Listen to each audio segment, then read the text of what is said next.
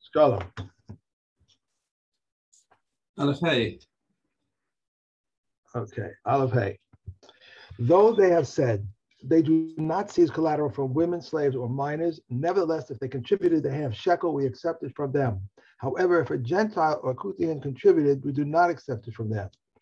Nor do we accept from them burnt offerings of Zavim, Zavos, and women after childbirth, nor sin offerings and guilt offerings, though we accept vow offerings and gift offerings from them. This is the general rule. Whatever may be vowed or donated, we accept from them. Whatever may not be vowed or donated, we do not accept from them. And so it has been made clear by Ezra, as it is said, it is not for you and for us to build a house for our God. The following are obligated to pay a kalbon. Levium, Yisraelim, proselytes, and emancipated, emancipated slaves, but not Kohanim, women, slaves, or minors. One who contributes to a, to a Kohen, woman, slave, or minor is exempt. If one contributed for himself or for his colleague, he is obligated for only one kalbon. But Meir says two kalbonas. One who gives a sela and takes back a shekel must pay two kalbonas. One who contributes to a poor person, his neighbor or his town, townsman is exempt from a kalbon. But if he lent the half shekel to them, he is obligated to pay a kalbon. Brothers who are partners, when they're obligated to pay a kalbon, they are exempt from the animal tithe. But when they are obligated to give the animal tithe, they're exempt from the kalbon. And how much is this kalbon? A silver ma. The words of Meir, but the comments say half a ma. Okay. Okay. All right, very base. Sarfin shekalim darkonos mipnei masoy haderech.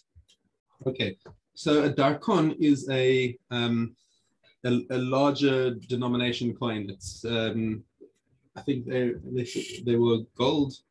Is that right? Let just check. Um, a darkon is worth is worth two sela. Yeah, it's a, they're gold coins. So basically, what they wanted to do was to make it easier for the messengers. Remember, they, they're collecting they're collecting all the shekalim in the towns as well.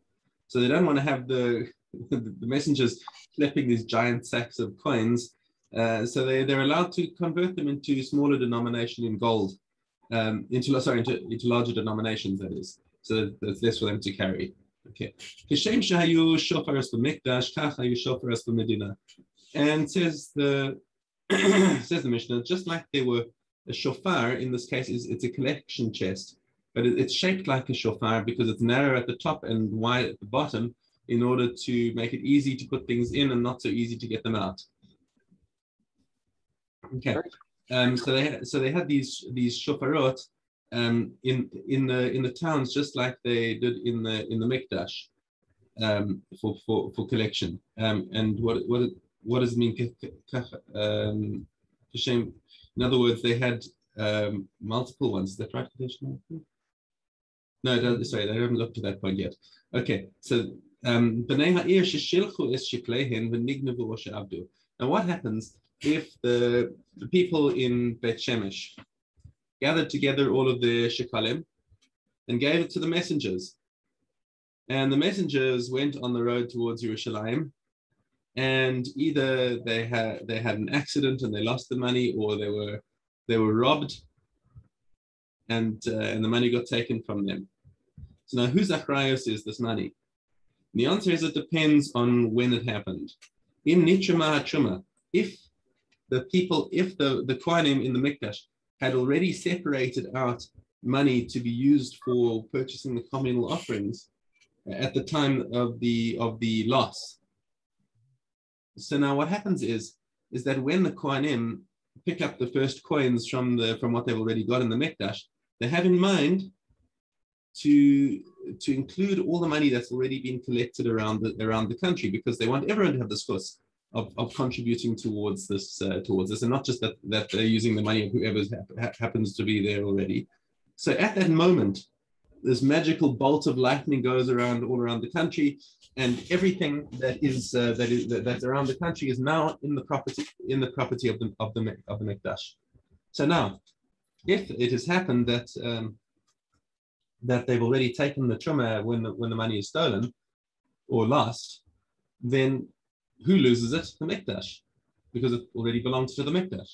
So what happens to the, so the messengers now, in order to prove that uh, to prove that they weren't negligent, or um, it may be that they're paid messengers who um, who are claiming that they were robbed, right? Because because a robbery is uh, they're, they're not liable for for an armed robbery, they're liable for losing it or for having it stolen off them while they weren't looking, but they are li- but they're but they're exempt if uh, if somebody actually you know, came and robbed them. Okay, Gizbarin. So then the messengers will swear to the temple treasurers and then they get off the hook. Beam love. However, if the money had not yet been taken in the Mikdash at the time of the last Nishbain Lebnei Ha'ir, now the money was still the property of the of the people in the city. So the messengers have to come and take a shvur to the people who gave them the money, and then they're exempt. Ubnei Ha'ir shokin tachtehen. And the Bnei Ha'ir have to shake their heads and say, okay, we took a loss now we've got to give our now we've got to give the, the shkalim again. Okay. Nimtu. Now what happens is they gave them they gave their money a se- they gave their money a second time, um, and then the and and then the original money that they gave has been found. Or sheyechzirim haganavim. Well, the ganavim said, you know, we didn't realize this was the shkalim from the temple. You know, we, we feel really bad about this, but here's the money back. Okay, elu ve'elu shekalim. Then both of them are given to the to the mikdash. Ve'ein olin lahen l'shana haba. And, it, and they can't offset it and say, okay, well, we don't need to give next year. You can't, can't offset it. It all goes to the Mikdash. So as uh, we have a, a principle um, in a number of places that Yad Hekdesh La That's the we always give the advantage to the to the Mikdash in, in any kind of financial transaction. Remember, we had that when people were selling uh, things to the Mikdash, and it, uh, like if, if the if the um, if the price changed, Mikdash always gets it at the cheaper price, whether it's going up or going down. Um, okay. When they when would, would people actually go to the to the um, boxes that they put the tre treasury money in at, at the um, uh, base of Mikdash and steal from it? No, no, no, no, no, no. That's not what they're saying. What they're saying is that they're is that they're, they're on the road. No, I understand that, but would people actually do that? Were they were they worried about that? That's why they made it that way the boxes and the coins, so they wouldn't steal from it. Same. Um, I can't um, believe someone would be standing at the base of Mikdash, you know, standing on temple grounds over there and steal from it. You know, I it's hard hard to put, you know. You know, you say that, and I'm just gonna pause you. Uh, All right, so Mishnah base. Um, Hanosen shiklo lechavero lishkol al yado so what does he do? I make a mistake. So he, uh, so Reuven gives uh, says, says to says to Shimon, he has my he has my machatzis shekel. Will you go and give it give it uh, for me to the to the mikdash? So Shimon says thanks very much, and he sticks it in his pocket, and uh, and he goes over and he goes over and he and he pulls out uh, pulls out the coin and says, oh yeah, I should give this I should give this on my uh, for myself. So he gives, so he gives it for himself. He forgot that he was doing it for uh, for Ruvain. So he, so he makes his own contribution from Ruvain's coin.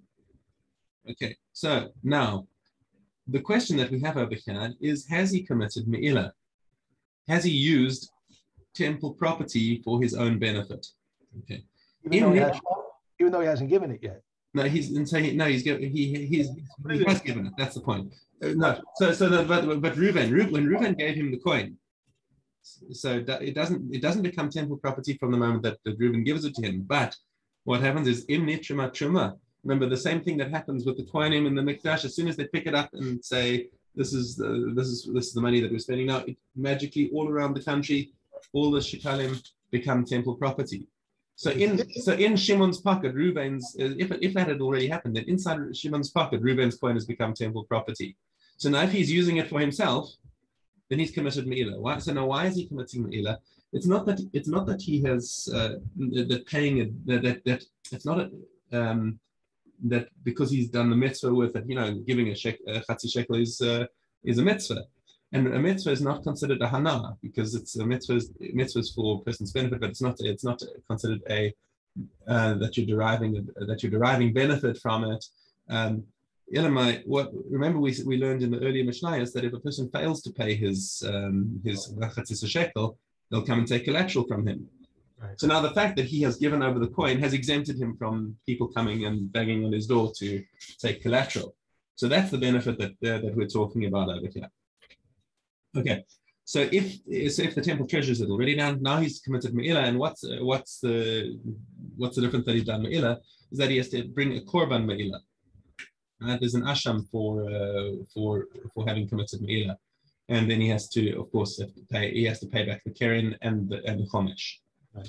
Okay, so um, Hashokel shiklo mimaos hekdesh. Now, what happens if a person um, has set aside money for hekdesh? He, he put he put aside money that he was going to that he was going to uh, that he that he dedicated to the mikdash and said this is for like Bezak bias, and and he forgot about it and he took and he took a, a, a shekel from there and then and gave it on his own behalf. He gave, gave it himself for the machatzis shekel. Im nishramat truma the karva habahema. So if the the the the, the Kohanim have taken the money and and they brought uh, the korban with the money from the from the truma, well, then what's happened? He has he has committed meila. Now, um, why has he committed meila? Let's just let's just understand how, how what's the mechanism of a So I'm going to go into Kehati to uh, to understand this. Okay, so for example, he had in his hand money that he had already dedicated to the Mikdash, and he forgot this and he thought it was chulin, so he took his shekel from it. Okay, um, and um, so why why why why is this Jarek gam chelko be'osa behema? נמצא נהנה מן ההקדש שלא משכנו בשביל שקלו. קודם שקלו בהם לומר שאין אלא במוציא מן ההקדש יכולים. Uh, hold hold this thought. Something. Why is he committed? Why is he committed me'ila?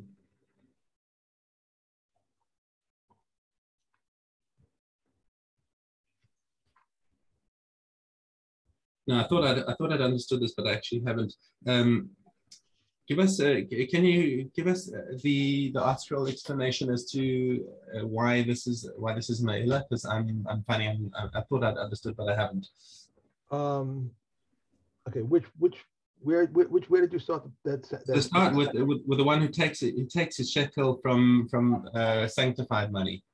Um, Okay, so the, the, beginning of that says it says one who gives his half shekel to his colleague to contribute for him, but the colleague contributes for himself, right? If the truma has already been withdrawn, is it misappropriated? That's okay, the that, that we've dealt with. Now the next the next part is where we we will need the perush.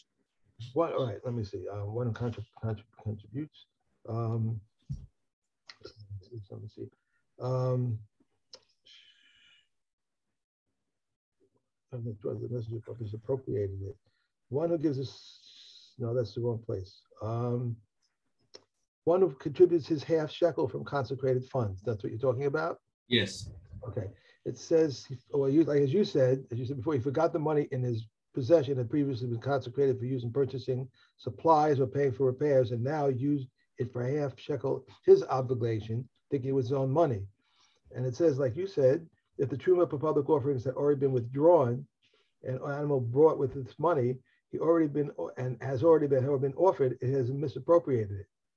Subsequently, when the withdrawal is made and the animals bought with this money are sacrificed, he is liable to the laws of Me'ilah. The sacrifice was performed on behalf of everyone who participated in the half shekel contribution, including this individual who had mistakenly contributed consecrated funds.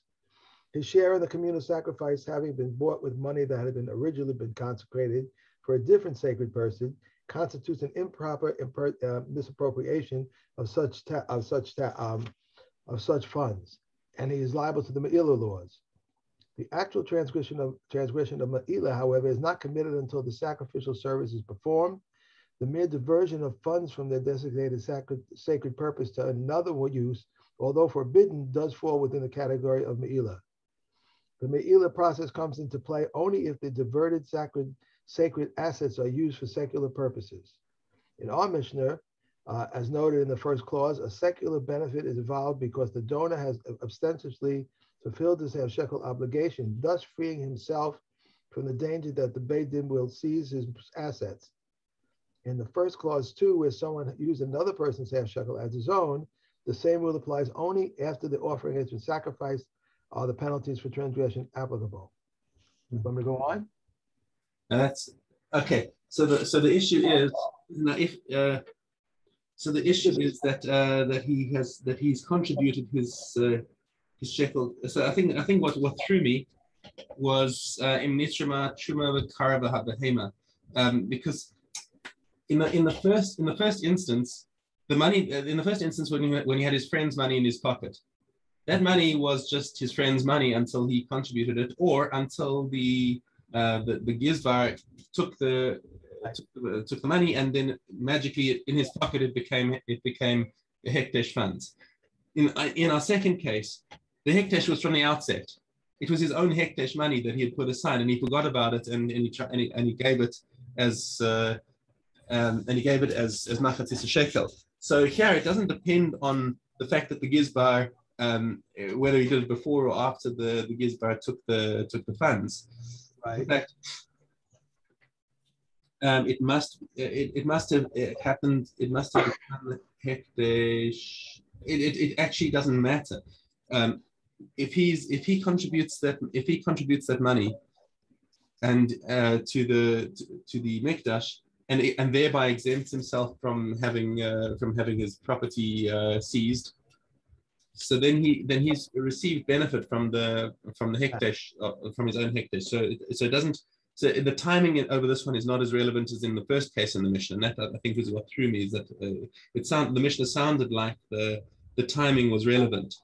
It says here though, however, as implied by the Mishnah, if the error was discovered prior to the sacrificial service, Amelia, um, Right, then, then right, then he doesn't. So, so he discovers the error before the sacrificial service then he can say, "Whoops, I got the wrong one. Quickly, let me give you give you the chulin money." And, uh, and in that case, the sacrifice would not have been offered on behalf of the individual because he would have been known as a non-contributor, hence no prop improper use of the consecrated funds. But the Rambam says.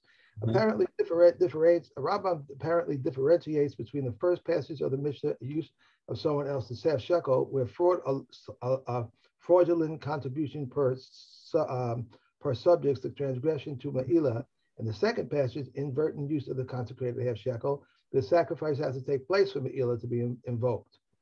Right. That helps. Uh, that... Yeah, that helps. Okay. All right, I hope so. no, the, the, idea is that um, is that if he if he discovers if he discovers his error before they before they've uh, brought the korban, right, and he runs after them and says, "Quickly, quickly, take my machatzis shekel, the real one," then he's then he's okay. Then he hasn't committed me'ila because uh, because now he's legit, uh, and and the and the fact that his first machatzis shekel went in in the wrong place, nonetheless he didn't get receive any benefit from it. Okay. He takes if he takes his animal and, and, and gives it over to be to be shechted, all right, but they haven't checked it yet, and and before they go to do the the shkita, he comes running and says, wait wait wait, I made a mistake, but they took it right with the with the machshava of the, they're going to use this for the korban. Yeah. Where does where does that put him? Did this actually have to be shechted? Just give, give me the case again. So he has. They they take the the animal and they're going to get ready to shecht. Yeah. But hasn't they haven't checked it yet? So, and he can fight, wait, wait, stop everything. You know, that's my money. but, but, because they've taken it with the machshava that they're going to use this. Okay, but so now that so now that doesn't come into play in the second case because um, because the money that the, the hekdesh money that we're concerned about is already hekdesh. Uh-huh. It didn't require the, the Gizbar to pick up the money to make it hekdesh, as it did in the first case. Mm-hmm. All right. So, all right. Yeah. Okay. All right. Um, all right, Mr. Gimel. Mechanes Maos, the Amar Hare Elu Shikli. So he. Wait, wait, we didn't finish, but there's an important part, I think, talking here about Maaser Sheni. Oh, beg your pardon. I skipped, I skipped that. Right. Um, Maaser Sheni. Thank you. Thank you for catching that. Okay. Maaser Sheni. What happens if a guy took Maaser Sheni money and and forgot, he thought it was Chulin and he gave that as his, as his Machatzis shekel? Or Midabay Shmiya. So he had, he had Shemitah money. How do you have Shemitah money? Is if he, if he sold, if he had, he picked some from fruit, fruit, legitimately and he had left over and he sold it to his neighbor. So now that money has got Kiddush Shvius. Right. Okay. So now, and he forgot about it and he turned that into, and he turned that into machatzit shekel. Yochal kenegdan. Then, as we saw in both of those cases, both, both Maaser Sheni and with Shvius, if you if you accidentally spent it on anything, you know, if you if you spent it on uh, you know buying a buying a horse or uh, whatever, anything that you can't eat, then he's got to take he's got to take chulin money out of his own pocket at the same value and turn that into shmita money or maser sheni money, and uh, and and that's where and that's where it ends. So he just takes this money, this, this money, and says, "This is now shmita money." Or yes, that's right. Okay. All right. Good. All right. Mr. Gimel. Um, uh, Hamachanis Maus. So he, a guy is gathering his, his, his change and he, he says, well, he looks at this big, big pile of copper coins and says, listen, I'm sure that in there is a machatzis shekel between it. So he sticks his hand in, grabs grabs a fistful, and says, "Okay, this is going to be for my for my machatzis shekel." All right, This is this is for my machatzis shekel. So it's probably more than machatzis shekel in there. What happened? So once he's once he's worked it all out and and and and, uh, and converted it into uh, into a silver coin, he's got change left over. What's the din of the change? Nadaba. What the change must go to a Nadaba. It, it, it, must be donated to the temple because he's already sanctified it. And even remember, this is this goes back to an argument that we had um, before. Was it? I was it in before us, uh, where where Machlokes Beis Hillel Beis Shammai um, as to uh, kiddush If somebody at, makes a makes a mistaken declaration of of of hekdesh, is it is it uh, is it hekdesh or is it not? Beis Shammai says it is hekdesh, and Beis says it's not. And we might remember the cases that we brought. Said um, the silver coin that I pull out of out of my pocket first will be will be hekdesh, and he pulls out a gold coin. So Beis Shammai said, too bad. He, he pulled out a coin and he said it was hekdesh, and it's hekdesh. And Beis Hillel said no, but he said a silver coin and it's not.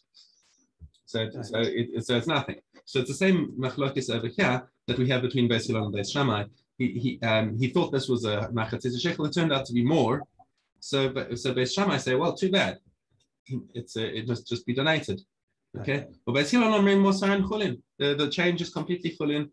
Um, she um, well, okay. Did you hear that blast from the from the quarry now? Oh, that was the quarry. Yeah. Oh, wow. Anyway, uh, Sha'avi may may end However, if he's phrased it he, he sticks his hands in and pulls out this coin, uh, this handful of coins and says, I'll, I'll bring my shekel from this. Mm. Okay? Shavin Shemosar and then even Beis Shammai agrees, okay, that wording is uh, is fine because he's clearly stating that that the, the shekel is somewhere in there, but not the whole thing. Okay, we're in agreement. Now, what happens if we if we shift our context and say we're talking about a chatas? Okay, a person is obligated to bring a chatas for some sin that he did, and he and he and he sticks his hand into his pouch and says, "Okay, this money over here is the money I'm going to use to buy a chatas. Elu chatas. This money is, is going to be brought for a chatas. Okay, shavin shamos nadava." And he so, so what happens is he goes to the to the shuk and, and he and he finds a he finds a korban korban grade animal, and uh, and he's got change left over. So now even Beis Hillel is going to agree that whatever's left over must be donated to the temple. Why? Because he said this is for a chatas. Um, and, and we'll see in, in tomorrow's Mishnah you know, what's the difference between the two different cases. Um, However, if he picked up his coin and says, okay, I'm going to use this money, uh, I'm going to use some of this money to um, for my chatas, then, then both Hillel and Beis Shammai agree that uh, that whatever change is left over is chulin, and he's under no obligation to donate it. Mm-hmm. Okay, and we'll see tomorrow in Mishnah Dalet um, what's the difference between between the machatzis shekel and the chatas in these cases. Good. Yeah. Sachin. Test Dalet. If the Pesach was offered in a state of contamination, Zavim, Zavos, menstruants, uh, or women after childbirth may not eat of it. But if they did eat, they are exempt from the penalty of the karas. Rav Eliezer exempts them even from the karas due for entering the temple. What are the differences? Oh, sorry. Okay. What are the differences between the Pesach offered in Egypt and the Pesach offering of succeeding generations? The purchase of an Egyptian Pesach was on the 10th of Nisan. It required sprinkling of its blood with a bundle of hyssop upon the lintel and upon the two doorposts, and was eaten in haste during one uh, during one night. But the Pesach is of exceeding generations is observed all seven days. Did you catch it? That, that one night is that the Chag of Pesach in Mitzrayim was only one night. Hmm. After after that, there was no, you know, they could eat they could eat bread the next day. Uh, yeah, so they, they they only had a, a one day festival, but but for the rest of the time, it's uh, as we it's as we have it.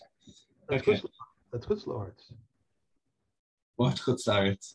right? Egypt is Chutz La'aretz. Well, Egypt is Chutz La'aretz, yeah, but uh, so you're saying I should have had two days Yom Tov.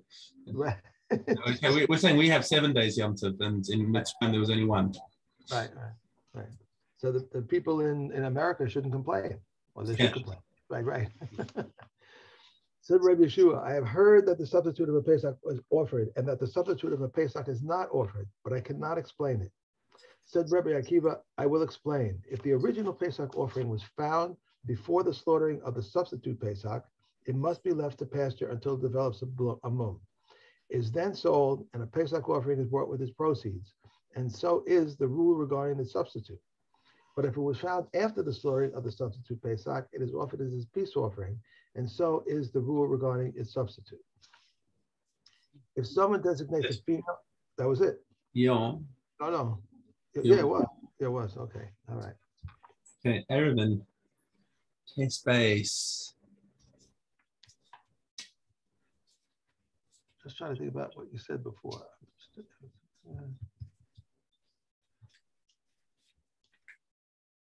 So if a Jew, I don't, I think I have this wrong. If a Jew was in in in Mitzrayim at the time that this was only one day, he's allowed to eat bread. Um, on the yeah, uh, they they only ate mat they only ate matzah in Mitzrayim on the first night. The next day they were on the road. Um, I, so I don't know if You're talking about when they left. You're talking about when they left. yes. Oh, I was thinking that this was a continuation. I mean, no, there were no Jews left. I mean, there were probably Jews left, but the, the Arab, but the, they, uh, uh, I was thinking that the Jews were still there. You know, there were some Jews there or something, and they were observing this, but you know. No, no, no, no, no. We're talking about the the the, the very first Right, Pesach, right. the one that we that we were talking about. Right. Okay. I'm sorry. I got it. That mixed up. Okay. All right. Um, if a large roof is, uh, this is uh, test base. If Yeah. a large roof is adjacent to a small one, the large one is permitted, but the small one is prohibited. If a large courtyard was breached into a small one, the large one is permitted and the small one is prohibited because it is like the entrance of the large one. If a courtyard was breached into a public domain, one who brings from there into a private domain or from a private into it is liable. These are the words of Rabbi Eliezer. So the Chachamim say from it into the from from it into the public domain or from the public domain into it, it is not liable because it is like a karmelit.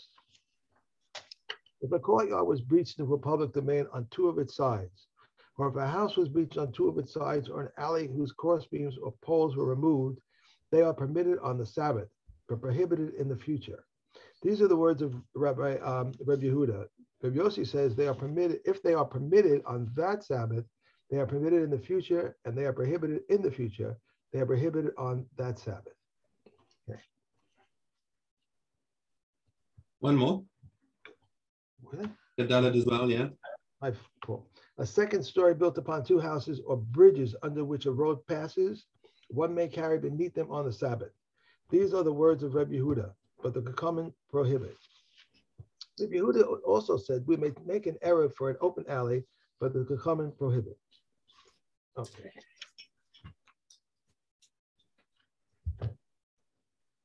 We have Orla. Orla. Yud Gimel. If articles were oiled with unclean oil, and were oiled again with clean oil, or if they were oiled with clean oil and then oiled again with unclean oil, Reb Eliezer says, I go after the first, and I come and say after the last. If leaven of truma and of hakarim, um, hakarim were fell into dough, dough, and neither this suffices to leaven nor that suffices to leaven, but together they leaven, it's forbidden to non-priest but permitted to priest. Rabbi Shimon permits to non-priest and to priest. Remember the, the difference over here is that Rabbi Shimon's basic uh, thing is that if you have two different types, two different categories of Isra, um, even though they're both Asr to you, and but but they both got a chatzi share. So the, so this one doesn't have enough to to make it aser, and that one doesn't have to make have enough to make it aser. But together they would have enough to make it aser. So the mainstream view is that okay, but you've got a you've got a shear of isur. Mm-hmm. Rabbi Shimon says no, you've got half a shiur of isur A, half a shiur of isur B. Neither of them is enough, and you can't join them together. Okay, and and and and we, and we bring the example of an isur which is only assur to uh, to non kohanim, but to kohanim truma is okay. So right. to the kohanim, the mainstream view is that well, it's mutar for them, so they can so they're allowed to eat it, but the Israel can't. Mm, okay, all right. Um, that was it. Condiment of truma and kilai hakerem fell into a pot, and neither these suffice to flavor, nor those suffice to flavor, but together they flavored. It is forbidden to non-priests, but permitted to priests and Reb Shimon permits to non-priests and to priests. Again, because you got two different categories of Isur. Sharon? Yep. Okay. Last well, one. The milk of a woman will cease, um, will cease. The milk of a woman will cause susceptibility to tuma, whether its emergent is to one's satisfaction or is not to one's satisfaction. So the milk of an animal will only cause susceptibility to tuma if its if its emergence is to one's satisfaction. Rabbi Akiva said the matic the matic can be proven through a, cal, a kal vachomer. If the milk of a woman, which is tended only for children, will cause susceptibility to tuma, whether its emergence was to one's satisfaction or was not to one's satisfaction, then animal milk, which is intended for both children and adults, is not is it not logical that it should cause susceptibility to tuma, regardless of whether its emergence was to one's satisfaction or was not to one's satisfaction? The comment said to him, Not so, for the milk of a woman that did not emerge to one's satisfaction generates susceptibility up to tuma. It is because the blood of her wound causes susceptibility to tuma. With the milk of an animal that did not emerge to one's satisfaction, likewise generates susceptibility to tuma. When the blood of its wound does not cause susceptibility to tuma, Rabbi Akiva said to them, I am more stringent regarding milk than I am regarding blood. For if one expresses milk for therapeutic reasons, the milk will cause susceptibility to tuma. But if one lets blood for therapeutic reasons, the blood will not cause susceptibility to tuma. The sages say to Rabbi Akiva, the law concerning baskets of olives or grapes will serve as a proof. For if liquids ooze from the baskets to the owner's satisfaction, they will cause susceptibility to tuma, but if liquids ooze not to his satisfaction, they will not cause susceptibility to tuma. He said to them, Not so. If you say thus concerning baskets of olives and grapes, it is because in the beginning the fruits were a food, and in the end the liquid that oozes is a beverage. Will you say the same concerning milk, the beginning and the end of which was a beverage? Until this point, what, uh, until this point was the response. Rabbi Shimon said, from here on, we would answer in his presence as follows. Rainwater will serve as a proof, since in the beginning and in the end it is a beverage, and yet it does not cause susceptibility to tuma unless it emerges to one's satisfaction. He said to us, Not so. If you say thus concerning rainwater, it is because the majority of rainwater is not for the benefit of people, but for the benefit of land and trees, and the majority of milk is for the benefit of the people. Hey, Zadim. two Mishnahs from the beginning of Zavim.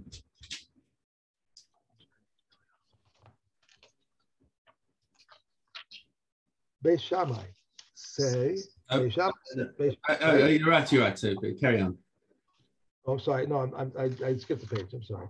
Regarding someone who had one Zav emission, Reb Shammai says he is like a woman who observes a day free of uterine discharges corresponding to the day on which she experienced a uterine discharge. But Basila says he is like someone who had a, a seminal emission. If he had one Zav emission and on the second day he stopped, and on the third day he had two emissions or one emission, that is as lengthy as two.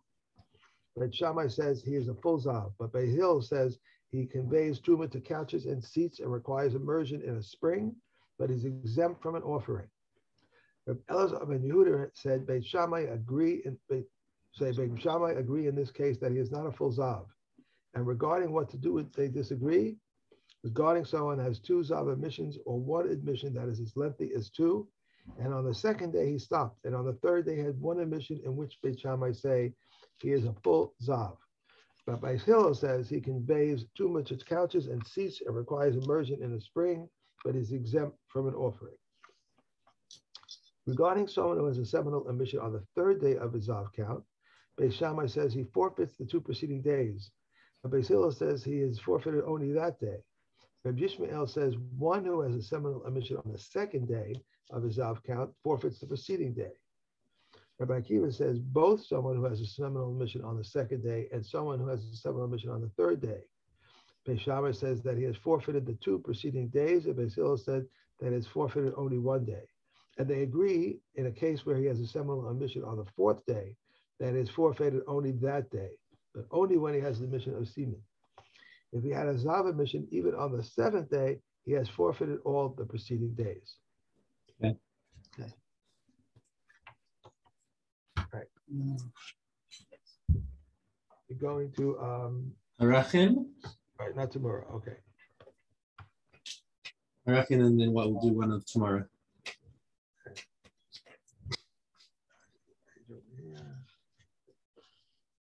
We have uh, Tesvav. A city whose roof constitutes its wall. No, it- it's test sign. With the Zion? Oh. oh, I had it there. Okay. Um, the houses of the open towns are recorded at the advantages of the houses of walled cities and the advantages of fields. They may be redeemed immediately and they may be redeemed for the entire 12 months like houses, and they go out in Yovel and with the dedic- deduction of money like fields. These are the houses of open towns. Two courtyards consisting of two houses each, even if they are surrounded by a wall from the time of, time of Yehoshua ben Nun, they are judged as houses of open towns. If a Yisrael inherits from his maternal grandfather a, a, a Levi, he does not redeem uh, according to this order. And so too, if a Levi inherited from his maternal grandfather a Yisrael, he does not redeem according to this order.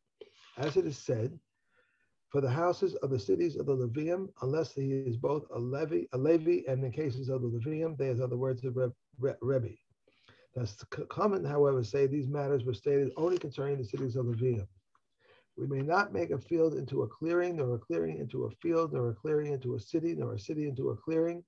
And Reb Eliezer says, to what does this apply? To the cities of the Leviim. Carry on. I'll have to go to. We uh, haven't finished. that was the last one for me, I think. No, no, the, you haven't finished reading that mission. Oh, you're so strict. Okay. All right. to the, I'm sorry, to the cities of the Leviim. But in cities belonging to Yisrael, and we may make a field into a clearing, but not a clearing into a field. And we may make a clearing into a city, but not a city into a clearing, lest they destroy the cities of Yisrael. The Kohanim and the Leviim may sell at any time and redeem at any time, as it is said, the Leviim shall have an eternal right of redemption. Okay, and one Mishnah from tomorrow.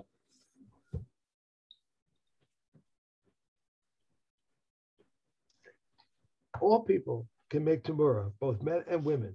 This is not to say that one is permitted to perform a Tamura act, rather that if he did perform a Tamura act, it is effective and he receives 40 lashes. Kohanim can make a Tamura with offering of their own, and Yisraelim can make a Tamura with offerings of their own. However, Kohanim cannot make a Tamura with a, a chatas, with an asham, or with a bechor. Rebbe Nori says, why, but why can the Kohan not make a Tamura with a bechor? Rebbe Kiva says to him, a chatos and an asham are gifts to the Kohen, and a makor is a gift to the Kohen. Just like the Kohen cannot offer a, tamura with a chatos or an asham, should so too he should not be able to make a tamura with a makor. Rabbi ben Nori said to him, Rabbi Akiva, what difference does it make to me that the Kohen cannot make a tamura with a chatos or asham, in which the Kohen receives no rights during the animal's lifetime? Will you say the same with regard to a Bechor in which the Kohen do receive rights during its lifetime? Because the, the Kohanim only receive the, the Chatat Hashem once it's been shechted and it's, and it's meat. Yeah, right. Okay. Uh, Rabbi uh, Kiva said to him, but it has already been stated, then it and its substitute shall be holy. Where does sanctity devolve, uh, devolve upon the original sacrifice? In the owner's house. So too, a Tamura act is effective only when the original offering is in the owner's house. Okay. And Kiddushin.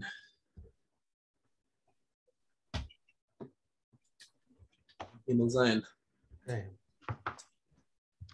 If a man said, I gave my daughter in Kedushin, but I do not know to whom I gave her in Kedushin, the one and one came and said, I betrothed her, he is believed. And if this one said, I betrothed her, and this one said, I betrothed her, they both give a get. If they want, one gives a get and one marries. If a man said, I gave my daughter in Kedushin, or I gave her in, or I gave her in Kedushin and accepted her divorce when she was a minor, she is a minor and is believed. If he said, I gave her in Kedushin and accepted her divorce when she was a minor, and she is an adult, she is not believed. If if he said she was abducted and I ransomed her, whether she was a minor or an adult, she's not believed. One who said at the time of his death, I have sons, is believed. If he said, I have brothers, he is not believed. So what does it mean? What does it mean? I have sons. I have brothers. The nafka mina is for for yibum. Right, right, right. But if he says I have I have sons, then he's saying basically my wife doesn't need yibum. If he's saying I have brothers and he doesn't have children, then he's saying my wife does need yibum. So we don't we don't believe him to uh, when he, when he when he says that because at the moment his wife is in the chazaka of not needing yibum, so he can't he can't take her out of that chazaka unless we have clear knowledge. If one gives his daughter a kedushin without specification, the begoros are not included. If one has two groups of daughters from two wives, and he said, "I gave my elder daughter in kedushin, and I do not know if it was the elder one of the elder of the older ones or the elder of the younger ones, or the younger of the older ones, and one who is older than the elder of the younger ones. They are all prohibited, prohibited except the youngest, younger of the youngest ones. These are the words of Rav Meir. Rav Yossi says they are all permitted except for the elder of the older ones. If he said, I gave my younger daughter in Kedushin and do not know if it was the younger of the all younger ones or the younger of the older ones, or the elder of the younger ones who was younger than the younger of the older ones, they are all prohibited except for the elder of the older ones. These are the words of Rav Meir. But Yossi says they are all permitted except the younger of the younger ones. If one says, that's it. Okay. Yeah. I wanted to ask you because I wanted I wanted to see. Uh, I don't remember the sentence you gave me when it came to commas. Something about eating. Let's grandma- eat, Grandma. Right. Let's eat grandma. Or Let's eat, Grandma. it's just it's the way you say it. It's Do you have the comma? Do you have the comma after the eat? right? Let's eat grandma. Or let's eat grandma. Yes. Okay. Tell my kids and see if they get it. Okay. I don't get it. I do. Thank you very much. Have a great Good day. day. Let's Hashem. See you tomorrow. Are you going early? You don't know yet.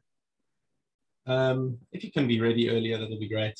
I'll try. I'll try to be early. Okay. Okay. Thanks. Thanks. Bye.